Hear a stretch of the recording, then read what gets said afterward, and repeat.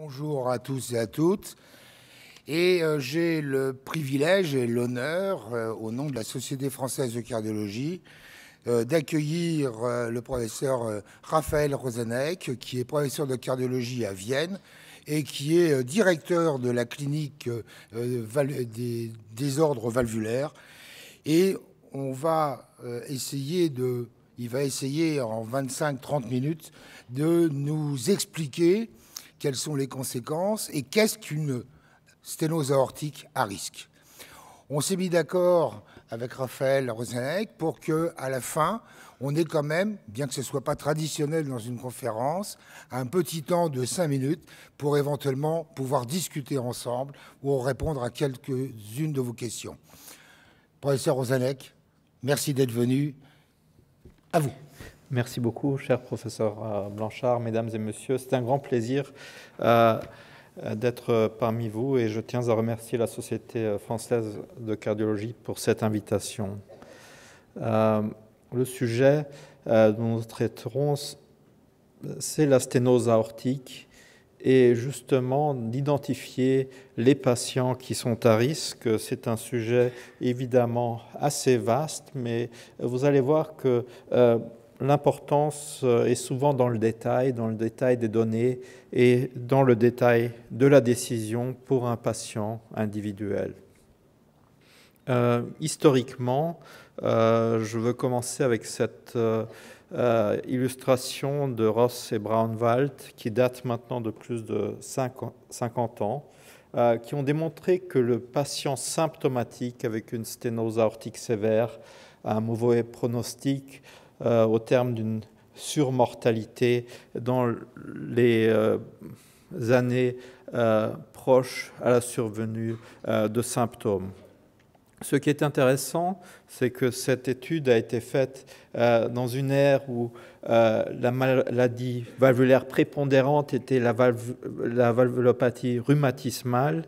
Et en plus, c'était une analyse post-mortem, c'est-à-dire que tous les patients avait déjà été décédé et les auteurs ont détecté le temps entre l'apparition de symptômes et la mort. Donc évidemment, sans surprise, cette mortalité euh, dans cette étude, mais les faits ont été confirmés dans des études plus récentes. Euh, chez des patients inopérables avec des valvulopathies euh, aortiques sévères, euh, dans les études de, traitement euh, par voie percutanée, où cette illustration se confirme. Donc le patient symptomatique a un pronostic entièrement défavorable et il doit être traité si possible. Nous savons aussi, et là il y a eu un changement de paradigme d'ici, il y a à peu près 20 ans, que l'épreuve d'effort chez les patients apparemment asymptomatiques avec une sténose aortique sévère est, un test qui peut être euh, euh, fait euh, dans des conditions tout à fait sûres. Et en même temps, à peu près un tiers des patients subissant une épreuve d'effort qui était apparemment asymptomatique aura des symptômes lors de cette épreuve.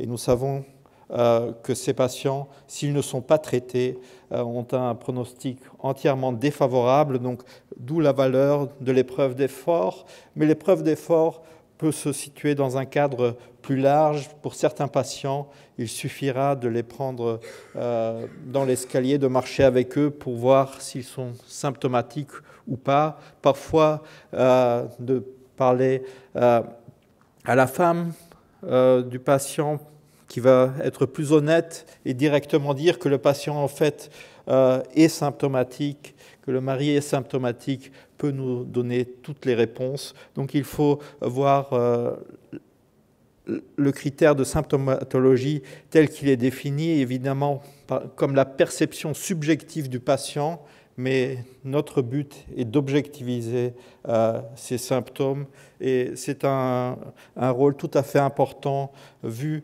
euh, le pronostic d'un patient symptomatique. Et après, il y a un autre critère qui est aussi euh, d'une importance, c'est l'évolution de la tension sous effort et quand il y a une baisse de tension à l'effort, ou une augmentation insuffisante, c'est un facteur défavorable de pronostic. La question était évidemment que faire avec le patient asymptomatique avec une sténose aortique sévère? C'était une question qui, déjà, il y a 20 ans, nous a mené à conduire cette étude où nous avons suivi des patients asymptomatiques avec sténose sévère euh, dans notre clinique de patients euh, à valve avec des contrôles réguliers tous les six mois avec un contrôle échocardiographique et clinique. Et cette stratégie semblait euh, mener à une mortalité pas significativement différente de la population générale euh, donc suggérant que cette stratégie de surveillance armée euh, est une stratégie qu'on peut euh, tout à fait considérer comme étant sûre pour un collectif général, et je tiens à dire que pour un collectif général, ça reste une méthode, une approche sûre, à condition de suivre ces patients d'une façon régulière, à condition de les réinviter tous les six mois et de le contrôler et de ne pas les perdre de vue. Il faut aussi savoir qu'en pratique courante, euh, beaucoup de patients se présentent avec des symptômes avancés et avec des délais euh, de présentation tout à fait considérables. Euh, dans la pratique, et je pense que ça correspond encore à ce que nous voyons aujourd'hui, c'était ce qu'on a décrit il y a dix ans, la moitié des patients va se présenter avec des symptômes avancés en classe NYHA3 ou NYHA4. Et ceci n'est pas nécessairement la faute du suivi, c'est que ces patients, euh, pour diverses raisons, se présentent tardivement. D'un côté, le déni, la reconnaissance, puis le dépistage euh, euh, par échocardiographie, euh, jusqu'à ce que le patient soit envoyé au centre tertiaire pour être pris en charge, peut prendre beaucoup de temps. Et pendant tout ce temps, le patient est évidemment à risque. Il y a cette étude canadienne qui a démontré,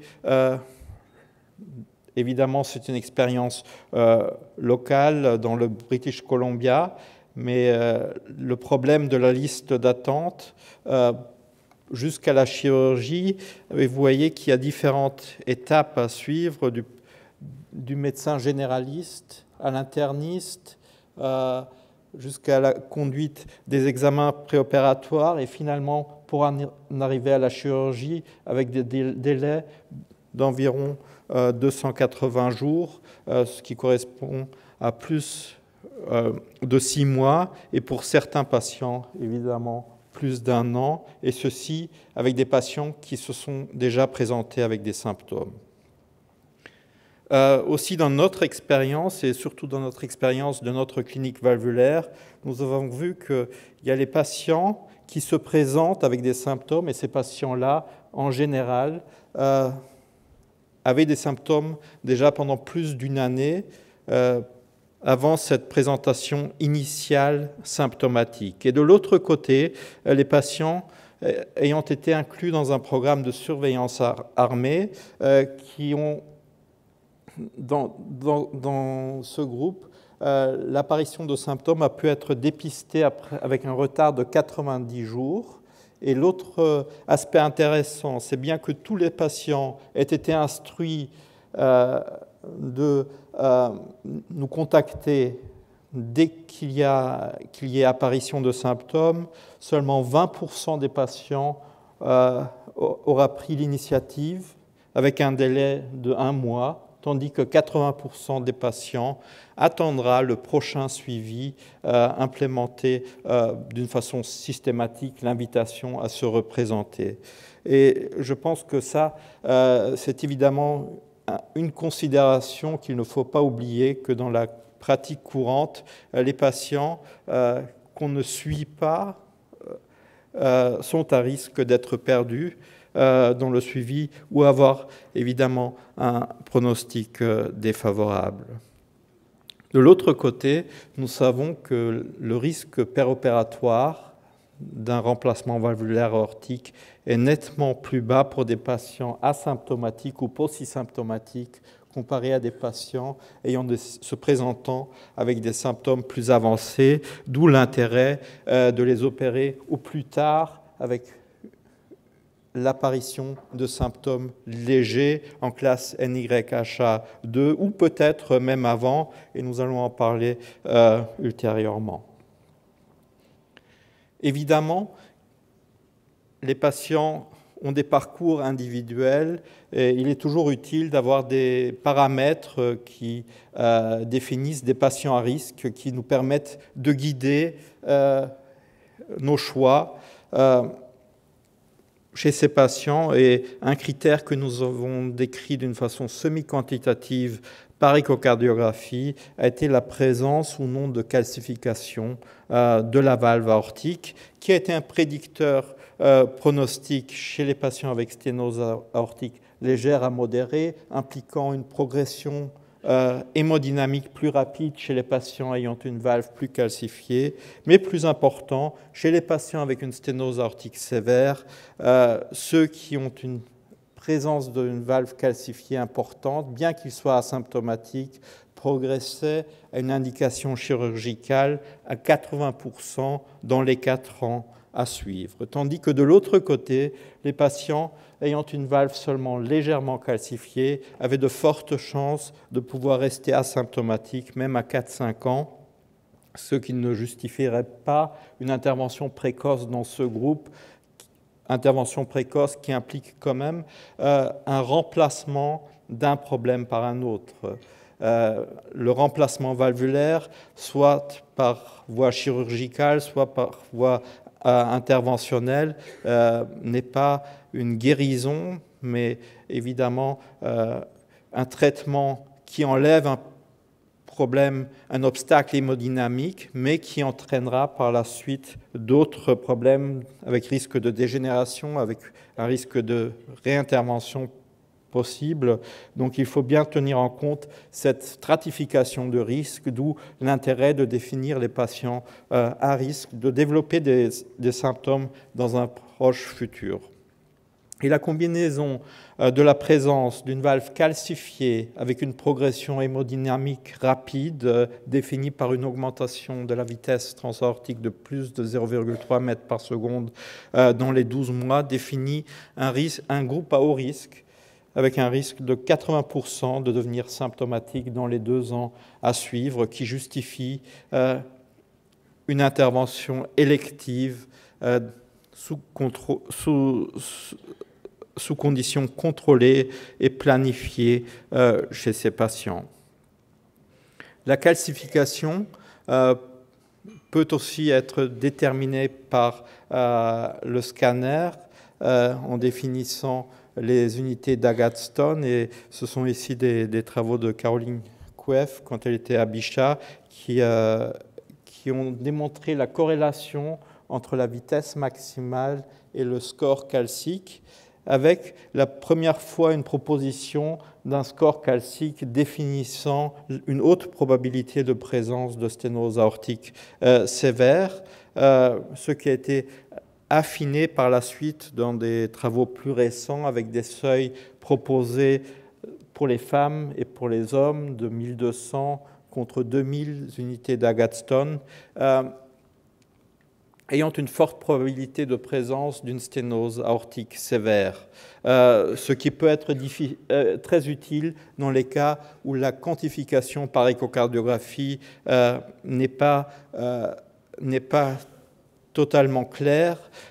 Et en même temps, ça démontre l'association euh, de calcification avec le degré de sévérité. Donc il y a clairement une, association entre la sévérité, la calcification et aussi la progression de la maladie. Et euh, nous avons, au fil des années, pu démontrer que la vitesse transaortique maximale en présence d'une euh, fonction ventriculaire préservée est un facteur prédictif très important à travers euh, différents degrés de sévérité pour la sténose légère, pour la sténose modérée, mais aussi pour la sténose sévère et au-delà euh, pour la sténose aortique très sévère avec successivement des taux d'événements plus importants. et en fait, la vitesse est directement associée au gradient transaortique, transvalvulaire, qui reflète en fait la charge du ventricule et une vitesse de 4 mètres par seconde correspond à un gradient utilisant la formule de Bernoulli simplifiée, donc de 4 fois la vitesse au carré, de 64 mm de mercure. Une vitesse de 5 mètres par seconde correspond à un gradient de 100 mm de mercure et une vitesse de 5,5 mètres par seconde correspondra à un gradient de plus de 120 mm de mercure. Donc, bien que nous restions dans le domaine d'une sténose sévère, le gradient va être double si nous passons de 4 à 5,5 mètres par seconde. Et je pense que le concept d'une valvulopathie très sévère euh, doit être retenu et je pense qu'il est utile et important de définir la sténose très sévère.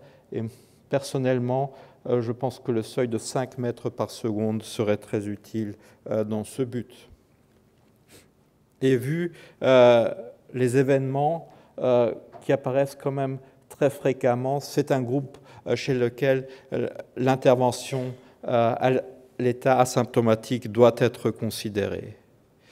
Est-ce que l'intervention chez les patients asymptomatiques est utile?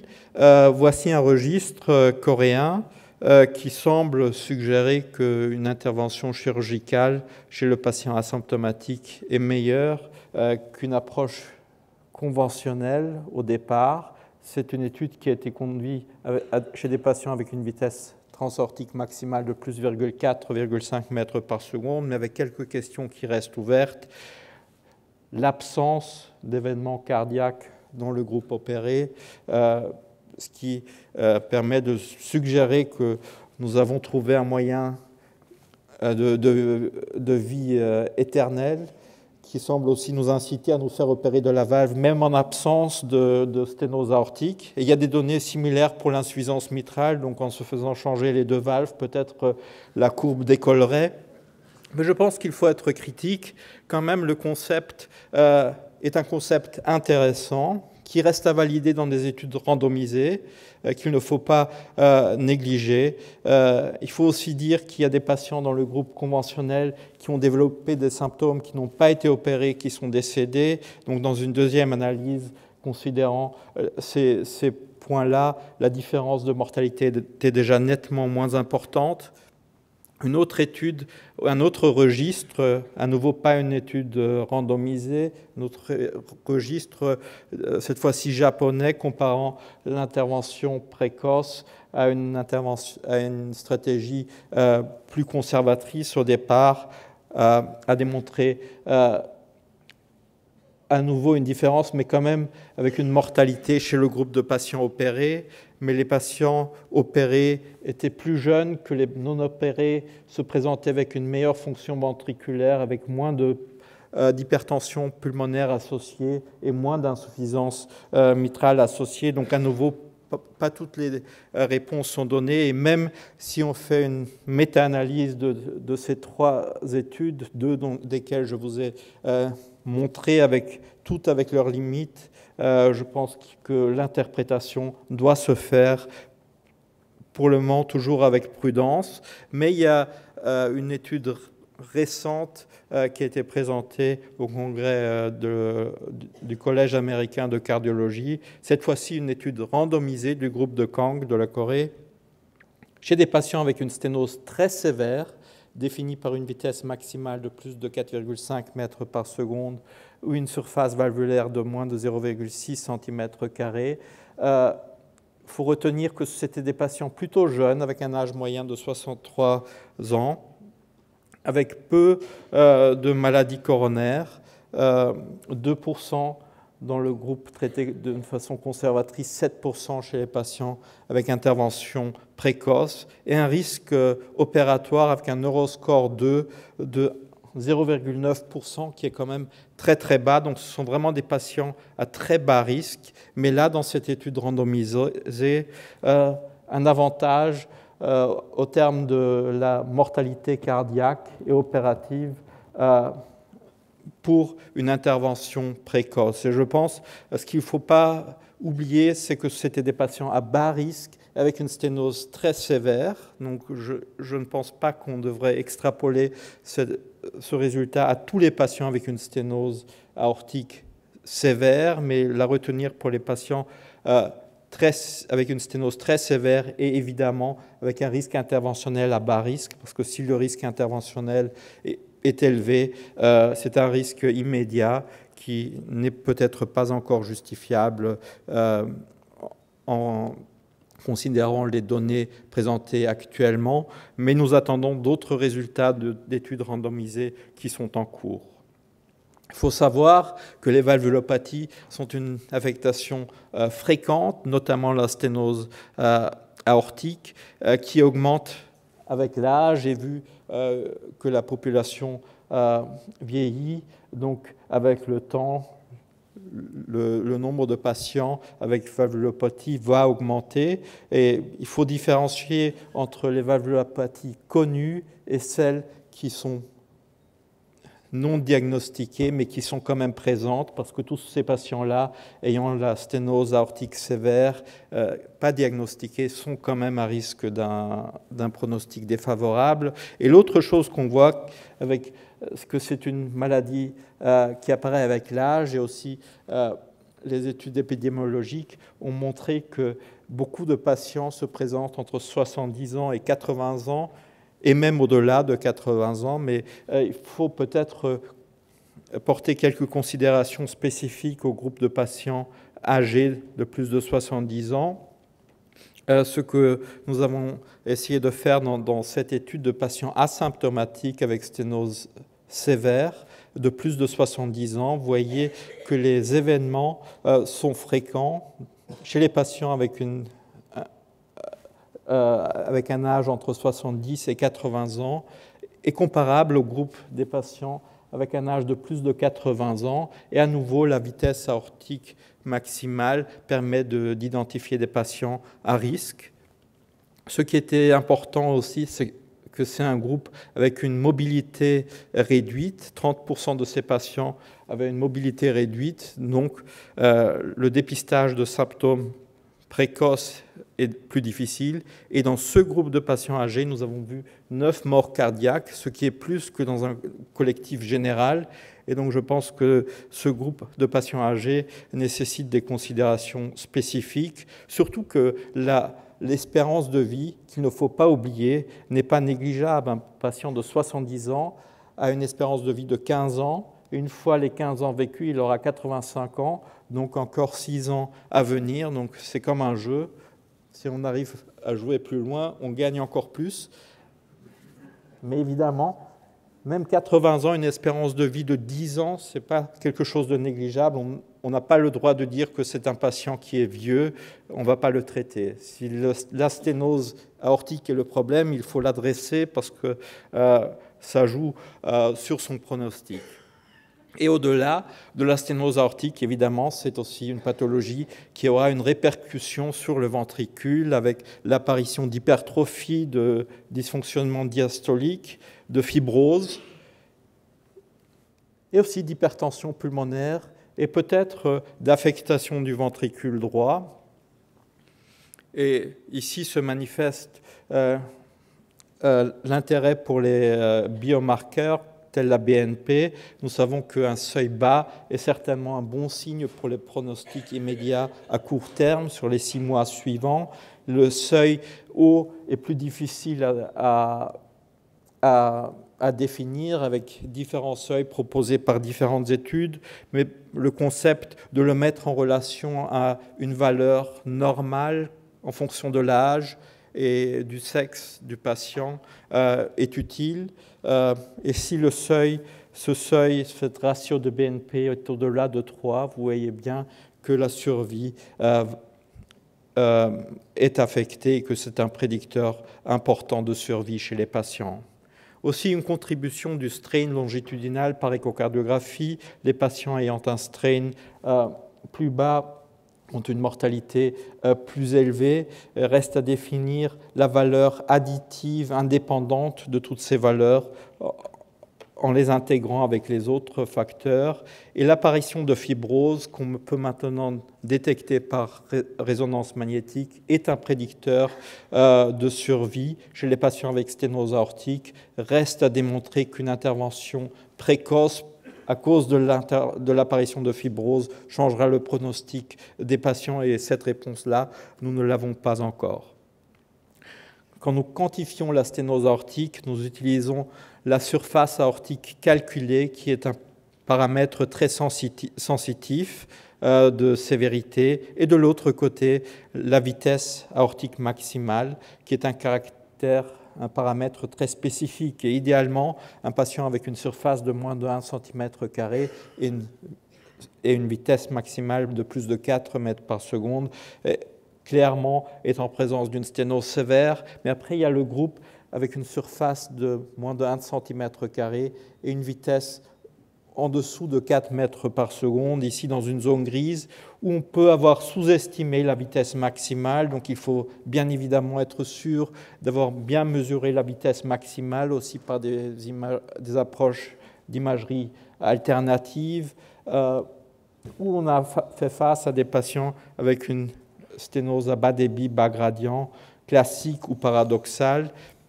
vous voyez que les dernières données montrent que le patient avec une sténose à bas débit gradient classique profite d'une intervention valvulaire, comme l'a si bien démontré Jean-Luc Monin dans cette étude.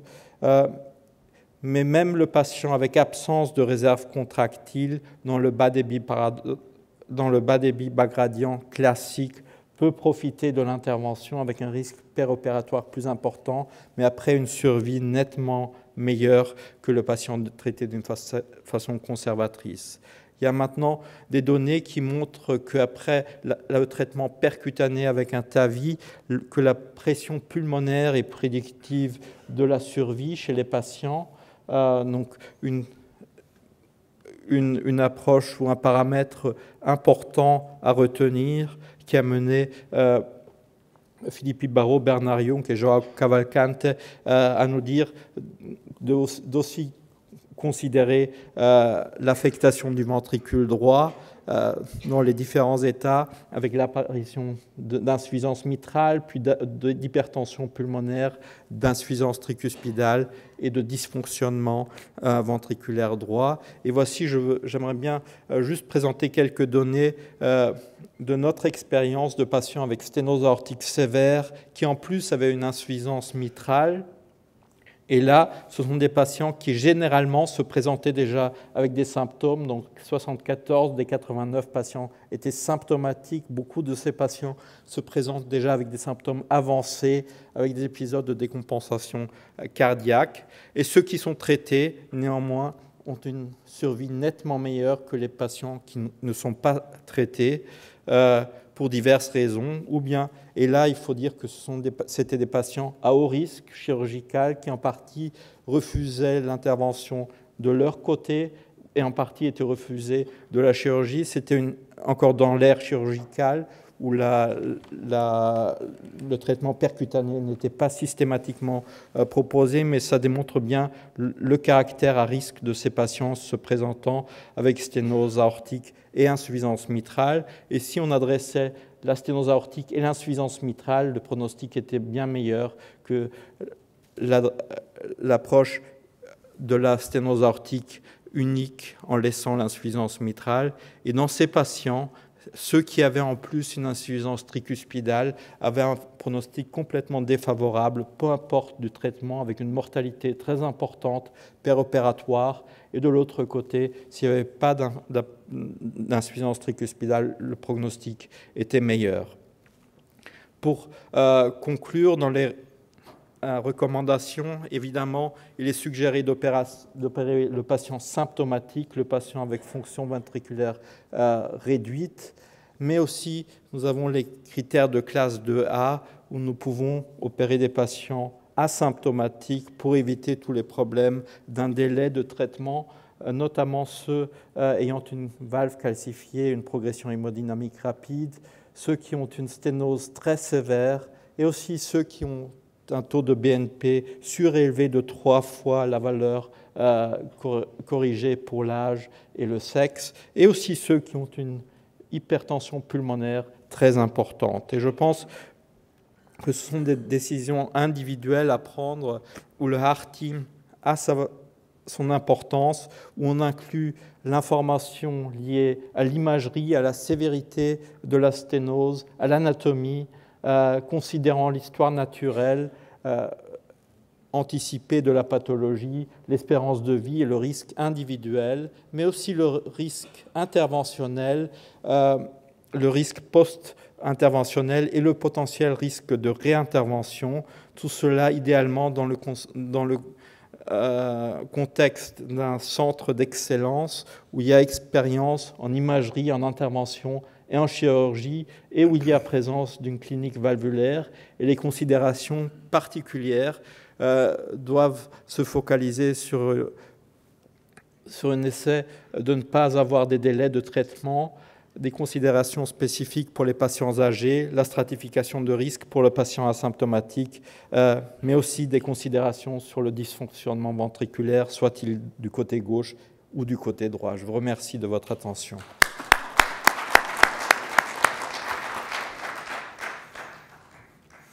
Merci beaucoup pour cette mise au point quelques réflexions, quelques questions. Euh, profitez-en. C'est certainement une des personnes qui connaît le mieux le rétrécissement aortique euh, au monde, ou au moins en Europe.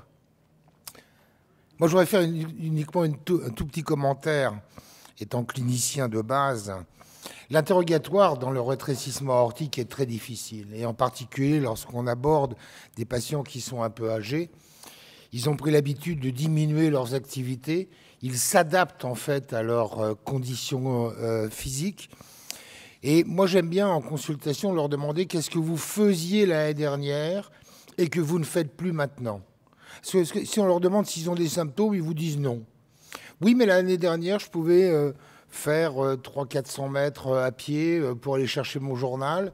Et puis bah, maintenant, il faut que j'aille le journal, bah, je le regarde sur Internet parce que je ne peux pas me déplacer. Et je crois que c'est pas mal d'essayer de, mettre en perspective qu'est-ce que vous faisiez l'année dernière et qu'est-ce que vous ne faites plus cette année. D'autres questions, même si ce n'est pas la tradition dans une conférence? Moi, je voulais vous poser une question. Vous avez bien parlé de, de l'IRM et de la fibrose. Mais on est quand même assez étonné maintenant avec nos patients âgés que l'on traite, c'est qu'on a l'impression de découvrir de plus en plus d'amylose. Et on a actuellement des données sur euh, rétrécissement, amylose et pronostic.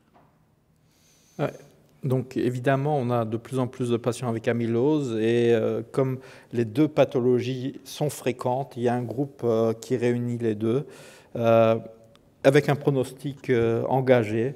Euh, où l'amylose euh, certainement aura un impact. Et il y a quelques données sur cela, sur le pronostic. Mais tout de même, je pense que ce sont des patients qui ont vécu euh, jusqu'ici, où il faut quand même traiter la sténose aortique en premier lieu, et par la suite se poser les questions du, du traitement de l'amylose, qui fait aussi des progrès à une vitesse assez impressionnante ces derniers temps. Mais je pense, comme vous l'avez bien dit euh, avec votre euh, commentaire, euh, que nous ne devons pas oublier que nous sommes des cliniciens. donc l'approche clinique, la question spécifique et aussi la décision clinique en intégrant beaucoup de paramètres qui restent, qui restent importantes. Des commentaires dans la salle? Oui, pardon, excusez-moi, je ne vois pas parce que le projecteur. Je voulais juste savoir si... Micro, s'il vous plaît. Ben, je suis devant le micro, voilà, je prie dedans. Euh, est-ce que vous gardez une place pour l'échographie d'effort dans l'évaluation du rétrécissement aortique euh, C'est-à-dire il y a des données euh, intéressantes pour l'échocardiographie d'effort, mais avec des, des variabilités d'interprétation ou une valeur euh, difficile. C'est pour ça que le seuil d'augmentation, il y avait le critère d'augmentation du gradient transvalvulaire à l'effort qui, était, qui avait une valeur prédictive. De, si le gradient augmentait de plus de 20 mm de mercure, c'était des patients à plus haut risque, mais qui posent aussi des, une question d'interprétation. Généralement, on se dit le patient qui a une réserve de, contractilité, une réserve de flux, devrait être le patient avec un, pronostic meilleur. Peut-être ce sont des patients qui justement ont des valves plus calcifiées, plus sévères à la base, et que c'est pour cela que la, le gradient augmente tellement. Donc la valeur euh, est moindre. Le deuxième paramètre, peut-être l'évolution des pressions pulmonaires à l'effort, est difficile à interpréter. Il y a le rôle de l'échocardiographie à la dobutamine pour les patients à bas débit, avec sténose à bas débit, bas gradient classique, où la présence de réserves contractiles est un prédicteur pronostique euh, et qui permet aussi de différencier entre sténose réellement sévère et le cas d'une sténose pseudo-sévère dans quelques cas. Pourtant, avec le, scanner, on peut euh, confirmer la présence d'une valve calcifiée, donc sévère, et presque tous les patients ayant une sténose sévère vont profiter d'une intervention. Donc, il est plus mandatoire de faire l'écho à la dobutamine chez tous les patients. Pourtant, il reste euh, utile d'une façon pronostique et je pense qu'il a toujours sa place. Je dirais que sur le plan de la chirurgie, si j'ai bien compris, il vaut mieux opérer les malades en bonne santé, quoi. Euh, oui, il faut. on gagne. C'est-à-dire, il faut pas, il faut pas être trop tard, c'est clair, mais il faut pas être, euh, peut-être pas être trop tôt non plus, parce qu'on a quand même le risque de l'intervention. On a une durabilité de la valve qui n'est pas, pas encore. Euh, une durabilité pour, le reste de la vie du patient, sinon une valve mécanique avec les risques d'anticoagulation, le risque d'endocardite. Et je pense qu'il faut balancer tous ces risques pour trouver le, le moment d'intervention optimal. Bien, il ne nous reste plus qu'à vous remercier pour cette euh, très belle conférence. Merci beaucoup.